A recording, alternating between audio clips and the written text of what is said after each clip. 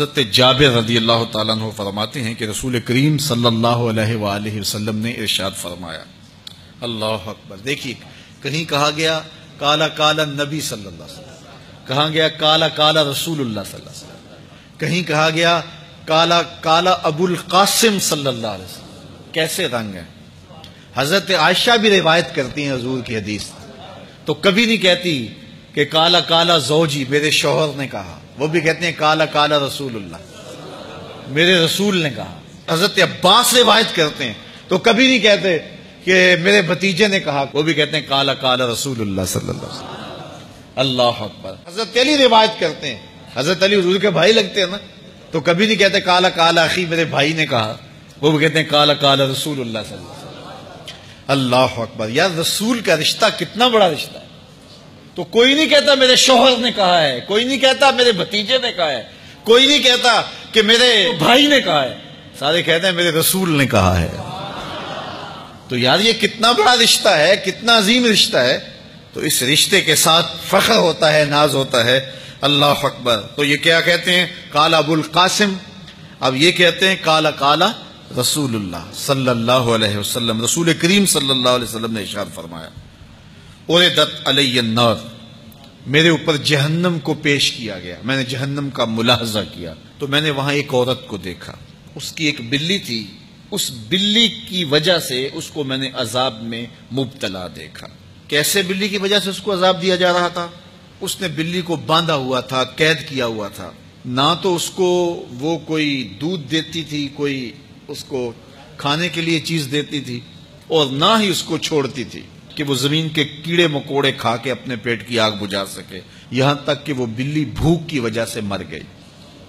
رسول اللہ فرماتے ہیں، بلی کی اس مالکہ کو میں نے جہنم کی آگ میں جلستے ہوئے دیکھا۔ اور امر بن عامر الخزائی، بنو خزا کا شخص امر اس کو میں نے دیکھا۔ اپنی انتڑیوں کو جہنم کی آگ میں دھکیل رہا ہے۔ اس کی انتڑیاں نکلی ہوئی ہیں اور جہنم کی آگ میں گسیٹتی ہوئی اس کی انتڑیاں جا رہی ہیں۔ یہ پہلا شخص تھا جس نے سائبہ بنائے تھے، جانوروں کے کان چیر دیے اور بتوں کے نام پہ چھوڑ دیے۔ یعنی سب سے پہلے بت پرستی کا آغاز عرب میں کرنے والا بنو خزا کا امر بن عامر یہ تھا۔ تو اس کو میں نے حضور نے فرمایا، دیکھا کہ یہ جہنم کی آگ میں جلس رہا ہے۔ کیونکہ اب جتنے بھی لوگ بت پرستی کریں گے، ان سب کا گنا امر بن عامر کے نامہ مال میں درج ہوگا۔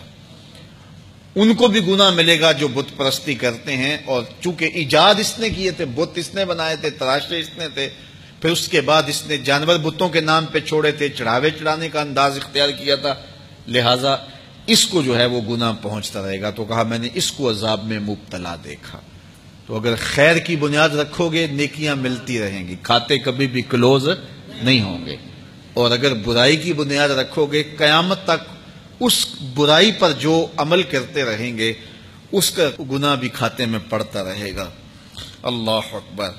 تو ہمیں اچھائی کی طرح ڈالنی چاہیے، نیکی کی طرح ڈالنی چاہیے۔ آقا کریم علیہ السلاۃ والسلام نے ایک موقع پر فنڈ مانگا، تو ایک شخص نے اٹھ کر کے پیش کیا۔ تو جب اس نے پیش کیا تو اس کے دیکھا دیکھی دوسرے بھی کھڑے ہو گئے، دوسرے بھی پیش کرنے لگے۔ بعض کا سارے خاموش ہوتے کوئی ہمت نہیں کرتا۔ تو ایک کھڑا ہوا تو اس کو دیکھ کے دوسرے بھی کھڑے ہو گئے۔ تب حضور نے فرمایا تھا، من سنا فل اسلام سننا تن ہاسن تن فلاح اجروہا جس نے اسلام میں کوئی اچھا طریقہ راج کیا، اس کو اس کا اجر ملے گا۔ اور پھر اس کی دیکھا دیکھی جس نے بھی کوئی اچھا کام کیا، اس کا اجر بھی اس کے اجر کی کمی کے بغیر اس کے کھاتے میں بھی داخل ہوتا رہے۔ اس لیے نیک اور میں کئی لوگوں کو جانتا ہوں کہ جو جمعت المبارک کے اجتماع میں، پیر کے اجتماع میں لوگوں کو لے کے آتے رہے۔ کسی وجہ سے وہ خود نہیں آتے، لیکن جن کو لے کے آتے رہے، وہ اب بھی آ رہے ہیں۔ تو وہ اگرچہ نہیں آ رہے اور کچھ فوت بھی ہو گئے ہیں، تو جو جن کو لے کر آئے، ان کے کھاتے کا ثواب، ان کے نامہ یا مال کے کھاتے میں بھی درج ہوتا رہے گا۔ تو اس لیے اچھائی کی طرح ڈالو، نیکی کی طرح ڈالو، اچھائی کی طرف جاؤ۔